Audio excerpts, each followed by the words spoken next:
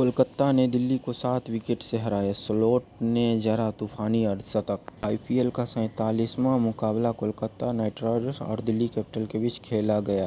Delhi capital के कप्तान ऋषभ पंत ने टॉस जीतकर पहले बल्लेबाजी का फैसला किया और 20 ओवर में नौ विकेट खोकर एक सौ तिरपन रन बना कोलकाता ने सात विकेट से मुकाबला अपने नाम कर लिया। इसी के साथ अंक तालिका में दूसरे स्थान पर मौजूद केकेआर के खाते में अब बारह अंक हो गए हैं। वह उनका नेट रन रेट 1.096 का हो गया है, जबकि दिल्ली इस सीज़न की छठी शिकस्त छठे पायदान पर खिसक गई है।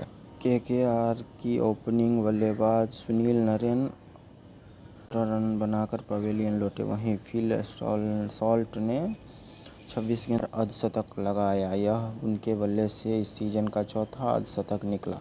सॉल्ट ने तैंतीस का सामना किया और सात चौके और पाँच छक्कों की मदद से अड़सठ रन बनाए।